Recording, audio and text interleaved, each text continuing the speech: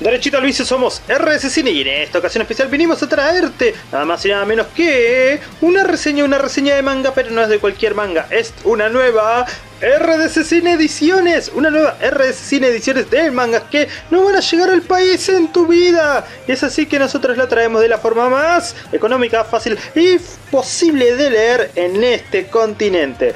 Hoy vamos a estar viendo el título de Dagashi Kashi número 1, una historia de amor, un slice of life, una historia sobre dulces y sobre las adversidades de quien las vende nada más y nada menos que con el tinte romántico que a todos nos encanta. Y además abriremos más y más sobrecitos de Fortnite de la colección 26 Poder Desatado, donde vamos a ver si nos sale un Goku más especial. Ya conseguimos un Goku de los especiales, si no sabes cuál es del que estamos hablando, tenés que ver los videos anteriores, pero si no, puedes ir y verlo. Y así vamos a descubrir qué otras cartas nos saldrán en esta colección número 26 que se viene con todos, con todos los skins más importantes de Naruto, los skins más importantes de Dragon Ball y de varios de tus personajes favoritos del Fornite.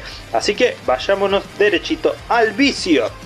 Pero obviamente, obviamente este segmento no podría haber sido traído a ustedes si no fuese por nuestros auspiciantes de siempre. Nuestros auspiciantes que son nada más y nada menos que... Mm, a ver, dejo hasta el costado. Mobile Game Controller Mobile Game Controller, Product Model is PM Plus, input 5 volts, 1A, 5 volts de salida también con una batería autónoma de 2000 mAh. Un, un, un producto bastante copado, bastante chinesco que si querés, si nos lo comentás, lo vamos a estar abriendo para probarlo. Perfecto para jugar al Free Fire, perfecto para jugar a cualquier juego de teclado o de disparos. Y además le da ventilador, le tira rayos láseres a tu celular muy copado, muy genial el SPB Plus. Pero bueno, bueno, bueno, en esta ocasión volvimos a hacer de las nuestras, bien piratescos, nos trajimos Dagashi Gashi, que es una historia, una historia sobre dulces. Los Dagashis, como ustedes sabrán, son los dulces japoneses, son los dulces que acá serían también como las golosinas, acá serían como esas tiendas mayoristas de dulces donde puedes conseguir a 100 pesos. Dos bonobón, o serían 3, o dos alfajores a 100 pesos una de esas tiendas lleno de dulces y de alfajores. En Japón lo llaman Dagashiya o Dagashika. Pero bueno, vamos a ver entonces cómo va la historia. Lo hicimos en un formatito de bolsillo bastante copado. De fondo le pusimos ahí tapa de color verde. Podría no tener tapa o podríamos hacer tapas con papel de ilustración o con un papel mucho más, más acartonado, más durisco. Pero esto es la forma más fácil.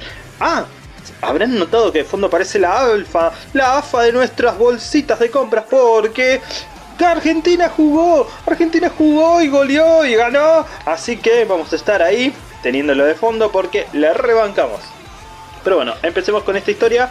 Hace tiempo que no reseñamos un manga, mentiras, un mes. Y lo vamos a seguir reseñando no solamente en formatos de RS Ediciones, sino también en formatos de, mercado local y legal. Eh, recuerden que estos títulos que hacemos en RS Ediciones no tienen licencias en el país, no van a tener licencias en el país, lamentablemente, y por lo tanto, no importa, no importa. Lo importante es compartir la historia. Pero bueno, vamos a ver. Entonces, ¿qué nos encontramos? Vamos a ver. Acercamos, vamos a acercar la imagen para que no sea todo tan planesco. Ahí tenemos la primera portada, una chica exuberante tomándose una gaseosa, pero no es cualquier gaseosa, es una ramune, una ramure. Después, después vamos a ver qué son las ramures, o las ramonas. Al principio vamos a ver una discusión entre el pequeño Kokonotsu que se está, se está cuestionando sobre llevar la carga de manejar el negocio de su viejo. El viejo quiere que se quede a cargo de la vieja tienda de Tagashis, la vieja tienda de dulces, pero él no quiere saber nada, absolutamente nada. Acá vemos ya en la siguiente página a la pequeña Otaru, esta protagonista, la genia, que va a estar cambiándole la historia a nuestro Kokonatsu. Y bueno, el significado de lo que es Tagashi y Dagashi ya. Pero bueno, vamos, vamos para acá. Mientras que Otaru, bueno, mentira, mientras que Kokonatsu se niega a tener la tienda de su padre, el cual ha quedado soltero desde que se divorció de su mamá, le dice que él solamente está enfocado en estudiar y en volverse un mangaka, no quiere volverse el dueño de una tienda. El papá ahí le agarró el manga, le dijo, bueno, pero si tus mangas son copados, le cuenta la historia de cómo podría ser el dueño, cómo podría ser el dueño de la tienda, tener chicas, cosas más importantes de la vida, pero no, no logra convencerlo de que se quede con la tienda. Es así, es así como ambos se ponen a discutir cuál es el sueño de cada uno, qué es lo que quieren lograr, hasta que de la nada aparece la misteriosa Otaru. Otaru que la vemos ahí, según el según Kokonotsu, es como una piba ideal. Está buenarda por todos lados, es curvilínea, con un pelo bien, bien violet, violetáceo que está bastante copado y súper exuberante y alocada. Pero bueno, el papá desaparece, lo deja solo como para que se quede a cargo de la tienda o que se quede solo con ella para que se conozcan. Bastante vivo el papá. Y ella le empieza a hablar sobre dulces. Sobre dulces porque quería conocer al viejo. Al viejo que manejaba esa tienda. Y es ahí como él se da cuenta de que ella tiene una afición enorme por los dulces y le empieza a hablar sobre el Umai Boy. El Umai Boy, que es como si fuese un pequeño dulce, dulce, dulce. No es un dulce en sí mismo. Le vamos a llamar dulces, es golosina, podríamos llamarlo en español. Pero tienen diferentes sabores. Son salados, son dulces, son agridulces, son ácidos también. Pero estos que tienen una mascotita muy graciosa, vienen en varios sabores. Sabor de pizza, sabor de napolitana, sabor de Nescafé, sabor de tutía, sabor de todo tipo. Y es así como logra engancharlo al decirle que puede combinar sabores y crear nuevos sabores. Que, este, que esta golosina te permite saborear comidas en horarios fuera de la comida. Tipo en la merienda o en el recreo, en cualquier lugar donde estés. Y esa es la pasión. Acá se, bueno, utiliza la palabra óptimo porque mezcló dos sabores bien mediterráneos, bien italianescos. Pero aún así no logra convencerlo de que, de que se quede con la tienda de dulces. En el siguiente capítulo, Dulces Papas Fritas, van a ver que cada capítulo tiene un diferente nombre de dulces y te van a contar la historia sobre esos dulces. Acá van a hablar sobre las papas fritas, por la forma que tienen, cómo es que se hicieron, pero la pibardo Taru se va a encontrar con el papá de Kokonotsu, y le va a contar su verdadera identidad, de que ella es la rival, ella es la rival de la empresa Shidare, una de las empresas de golosinas más conocidas de todo Japón, y que lo quiere al papá para que trabaje ahí junto con ella. Y acá le muestra, le muestra cuáles son las formas más gloriosas de comer papas fritas, ya que en esta bolsita de papas fritas que ellos compran vienen muy pocas cantidades de papas fritas, no como las que vimos en nuestros videos anteriores. Pero bueno, al revelar su identidad, también Kokonotsu descubre que su papá es un genio, es un genio de las golosinas y es por eso que Otaru quiere traerlo a trabajar. Pero, pero, pero, mientras tanto, van a terminar llegando a un acuerdo entre el papá y Otaru de que si ella convence, uh, esta parte es returbia, esta parte es returbia, puede poner su espalda como, como la cara del personaje de las papas fritas. No, eso te pasa si comes muchas papas.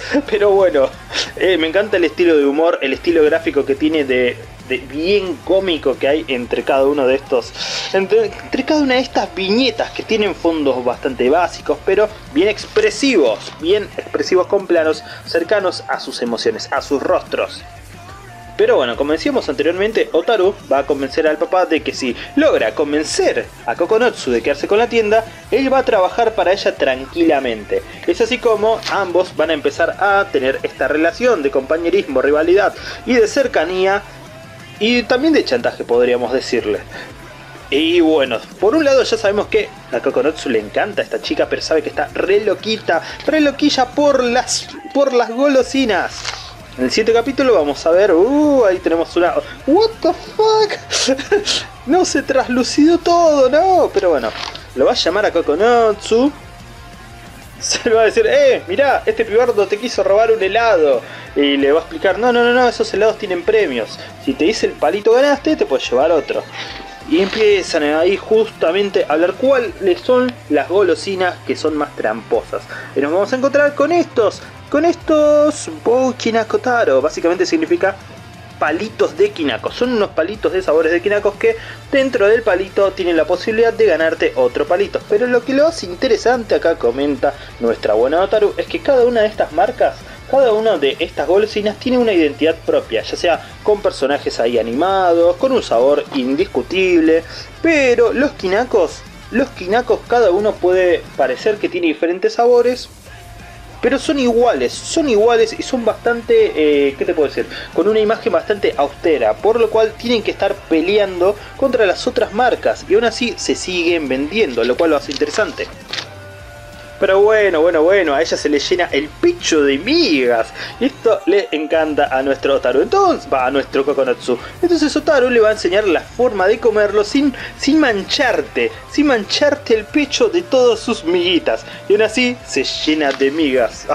Pero bueno, bueno, bueno, vamos a ver que el capítulo los chistes son buenísimos. Va a tratar de buscar formas, vamos a tratar de buscar formas de comerlo sin atorarse.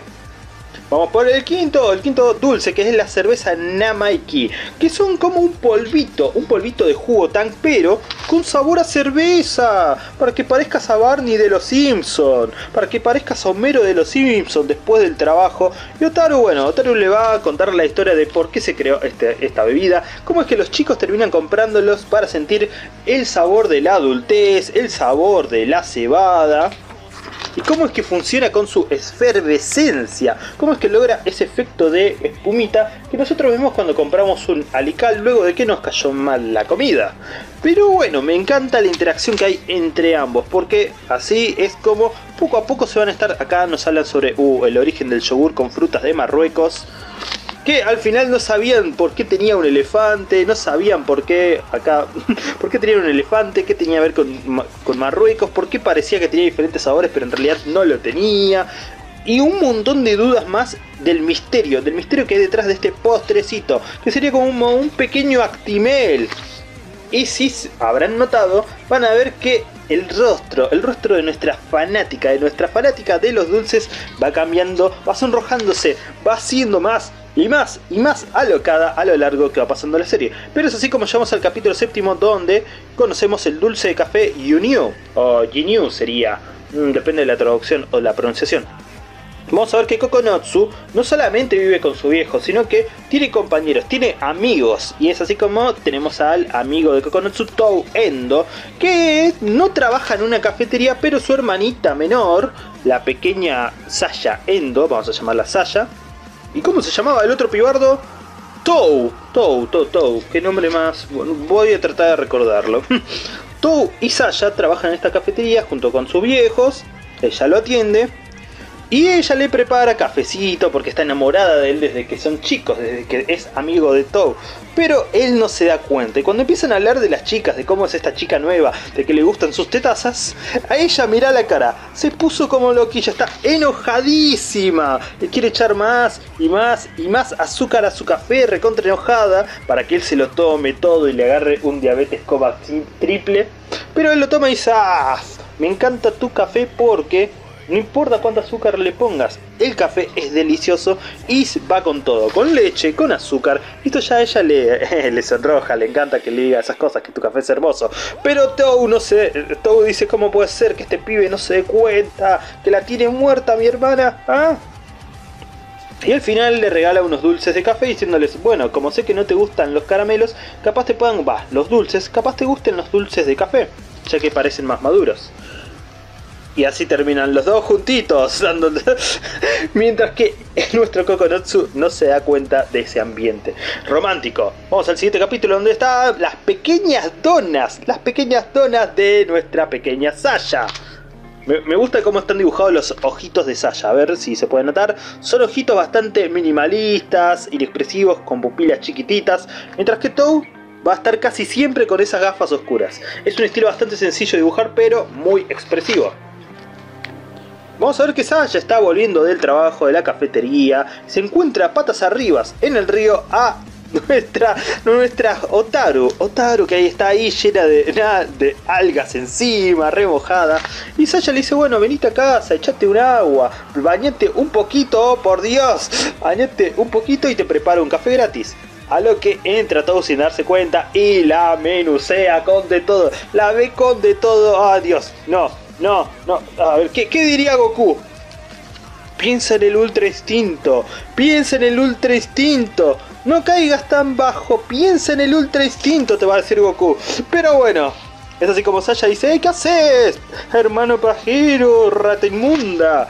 Lo golpea con de todo, lo saca de la casa y Otaru se presenta.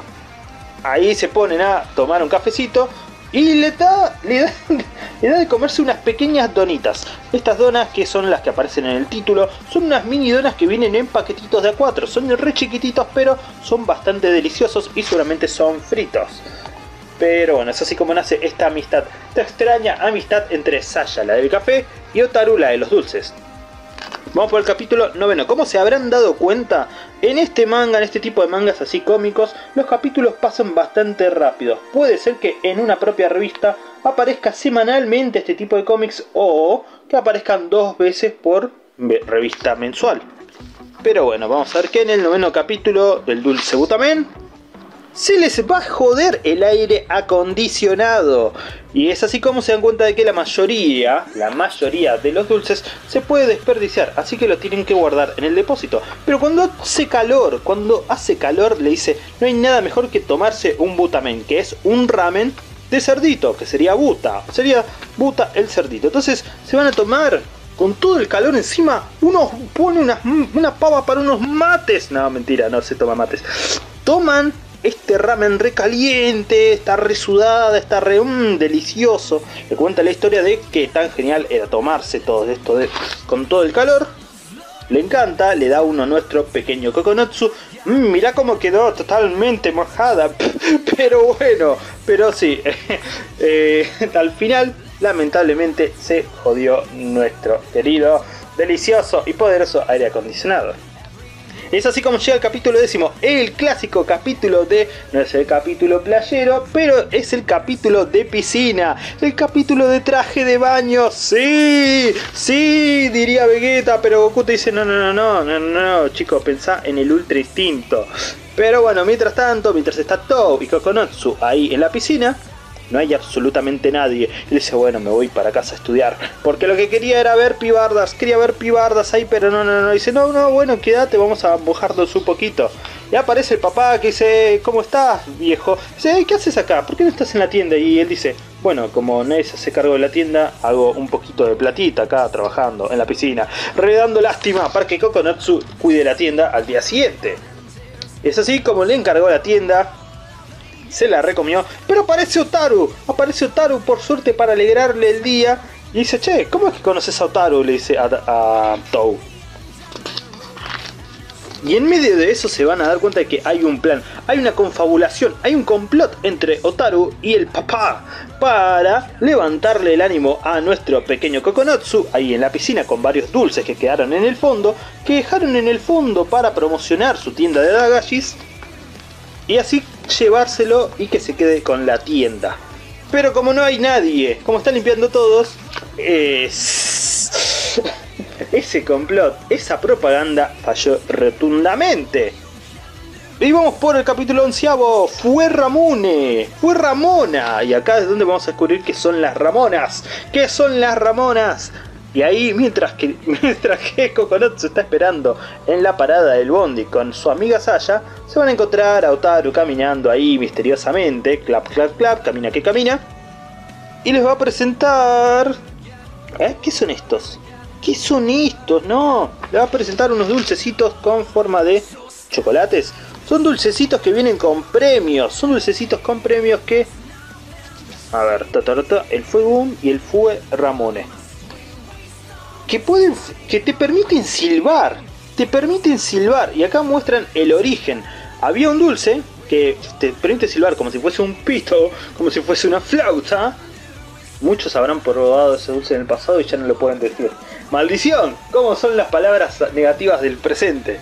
Pero bueno, en el pasado eran como si fuesen unas unas ¿vieron? Ah, no me sale el nombre, unas os como si fuese el cereal, el cereal de los Fruit Loops. Un loop, sí, un loop sería un circulito. Un Fruit Loop, pero dulce, que después se hizo más alargado y al final permitió que pudieses silbar con este. Bastante gracioso fue como evolucionó la goma de Ramune. Y cuando Saya dice cómo es que se la pasan hablando de dulces, qué les pasa, por qué están tan emocionados, ella dice, bueno, me voy a meter. Y es así como funciona, empieza a activarse este triángulo amoroso de dulces. Pero vamos por el siguiente capítulo, el doceavo, el Menko. Eh, tenemos a la pequeña Saya espiándolos. Como verán, como verán, en varias tiendas de Dagashis no solamente se venden Dagashis, sino que también se venden juguetes, juguetitos, Beyblades, pistolitas o otros juegazos como los yoyos o más cosas así copadas. Pero el más popular de todos son las cartas de Fortnite. Bueno, no solamente las cartas de Fortnite, sino las cartas, el juego de cartas intercambiables. Muchas de estas pueden ser memotes, muchas de estas pueden ser de tus personajes de animes favoritos y otras simplemente no tienen tantas reglas solamente tenés que dar las vueltas, por eso se llaman mencos. Y es así como van a estar jugando a tirársela. Y Otaru le va a mostrar las diferentes técnicas para que puedan tirarlas y levantar más de una carta a la vez. Pero Sasha, épicamente, logra aprender técnica tras técnica para levantar una y otra y varias a la vez. Es un capítulo que está bastante copado porque nos muestra que no solamente se venden dulces, sino que también le toman atención en estas tiendas a las cartas o los juegos de cartas más coleccionables de Japón. Y mira, mira, mira esta expresión. Es buenísima, es buenísima. Ahí toda la Otaru seria, la Otaru ahí expresiva. Y al fin, siguiente capítulo tenemos el dulce Ramone. A ver si ahora nos cuentan un poquito qué es la Ramona. Ah, este capítulo está buenísimo. Este capítulo nos encanta. Ya sabemos que nos repasamos de tiempo. Así que vamos a abrir tres sobres después. Pero ya estamos terminando, ya estamos terminando chicos. Hay que leer un poco más de vez en cuando. Acá nos van a contar la historia de nuestro... A ver si aparece acá el nombre. Yo me acuerdo del nombre. Ah, sí del Teniente Perry. El Teniente Perry es un navegante, un capitán de alta mar de guerra que llegó desde Estados Unidos hasta Japón con la premisa de abrir Japón mundialmente, abrirlo de forma política y de forma social al resto del mundo. Es así como tuvo que hablar con el ministro. En ese momento no había ministro de Japón, pero tuvo que hablar con su líder. Más o menos la historia fue en 1853 con la llegada de los barcos negros y este le decía, eh, bueno, no confío en vos, no puede ser que hagamos todo eso, pero bueno, está bien, está bien, yo te voy a dar algo para que tomemos. Y le da una limonada, una limonada ahí en un frasquito, en un frasquito que según esta historia, el japonés no pudo abrirlo fácilmente, así que tuvo que esperar un año más o menos a que Perry volviera.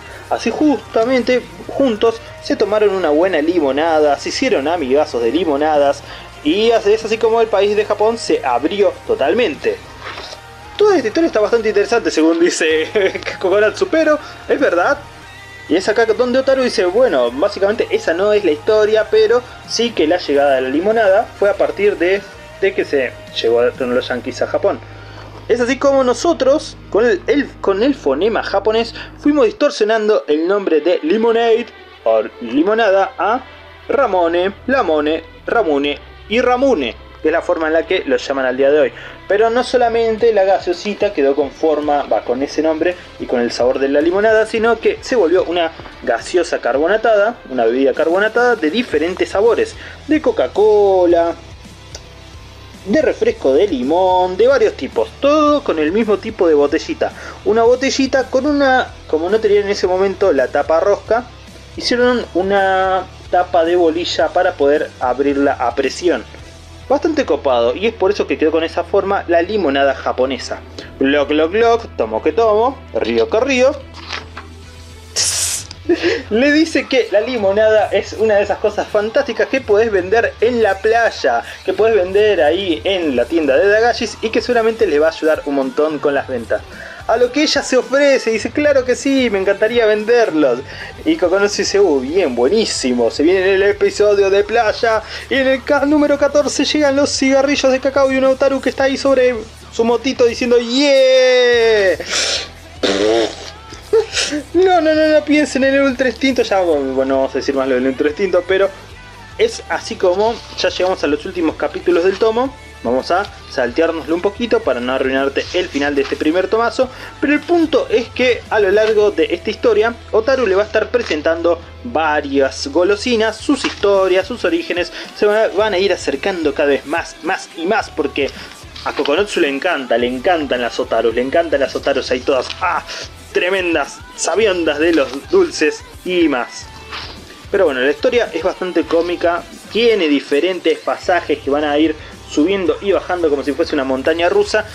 al igual que lo que vimos nosotros en High Score Girls, en la, en la serie sobre videojuegos, va a ocurrir lo mismo acá con Otaru, va a haber una época oscura, va a haber una época más copada, pero la historia, te digo, tiene anime, tiene anime con unas dos temporadas, así que, uy Dios, el capítulo del helado de Tamago, que es el helado de forma de teta, como dice ella, es buenísimo, es tremendo, es genial, así que no, no se lo pierdan, si lo puedes ver online, miralo online porque recontra vale la pena. Y sí, lo decimos porque no va a llegar al país, lamentablemente. Pero bueno, en fin, esperamos que esto te haya divertido, te haya entretenido y vamos a arrancar ahora por Fortnite número 24, va, 26. Y la próxima semana vamos a estar viendo un manga ya, ya licenciado en el país, que seguramente a varios le va a encantar y a otros van a decir, no, no, no, yo prefiero robots. Pero bueno, Goku nos estuvo esperando. Goku estuvo diciendo, ah, pudiste sobrevivir al ultra instinto, pudiste sobrevivir a esas imágenes un poquito levantadas de tono, pero estoy acá, estoy acá para proteger tu dignidad. A ver, esperen que abrimos. Y este sobrecito viene con 5 cartas. Comentanos debajo qué cartas esperas que salgan o cuáles ya tenés. Y la primera que nos encontramos es el Nigga de WhatsApp. Oh, hicimos ese chiste, pero no. Es Anderson Pack nuevamente con un fondo ahí multicolor, arco iris, bien espejado, metalizado, con nuevecitos puntos de ataque bastante bien. Seguido por. Eh. Vamos a poner la música de Final Fantasy. Claro que sí, es el Spider-Man 0. El Spider-Man 0 de los juegos que nos encanta, es el Spider-Man 0 que aparece en el cómic de Fortnite. Es el Spider-Man 0 de la última temporada con un fondo brillante, sí, diría el bueno del bicho.